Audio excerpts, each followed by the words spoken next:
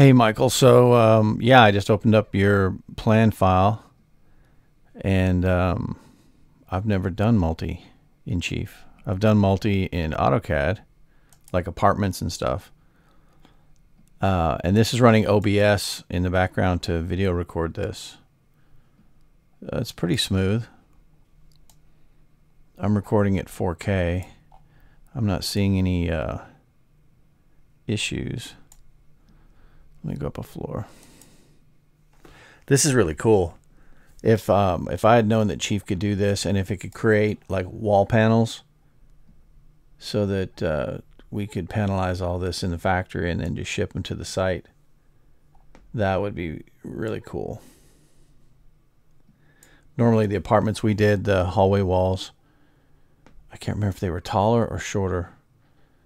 I want to say they were taller. I think we I think these were trusses left and right, and then in the middle it was like two by eights or something, and they were raised.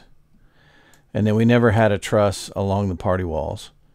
We built these walls tall and banded and fire blocked, and it saved a truss all the way along there. I don't know why we did that, but that was what we did.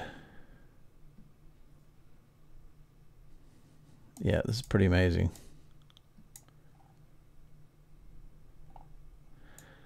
That is cool, being able to uh, build party walls, have everything work.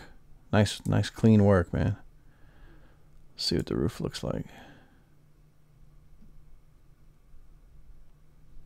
Wow. All right, so let's do this then. I don't need that. I need this. Let's do uh, section view.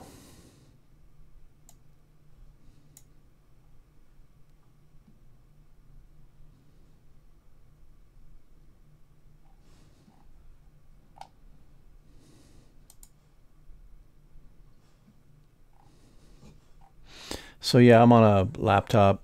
I got it closed. I'm running a ultra wide and a, a big monitor. So this seems to work pretty, you know, I'm scrolling in, scrolling out. Let's see what another camera looks like. You were here.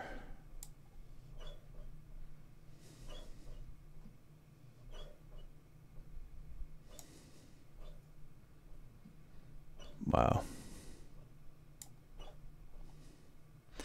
I don't have real-time ray trace, you know that, but uh,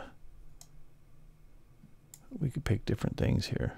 See if we can crash the system. How about something I like to do sometimes is turn these on.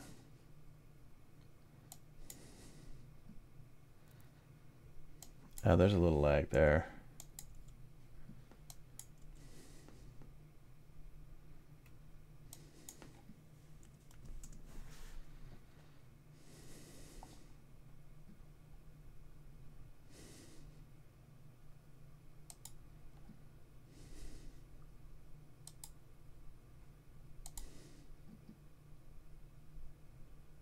Not really sure what clay does.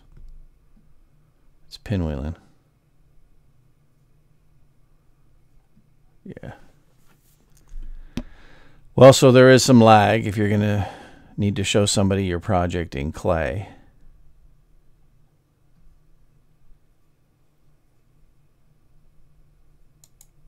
Let's, yeah, see, I can't do anything now. Uh, other applications work, just not Chief. Chief has locked up. All right, man. Well, so there you go. Um, just don't 3D render it. Whoops, that's not what I want. I want to move this. Don't 3D render it, and you'll be just fine.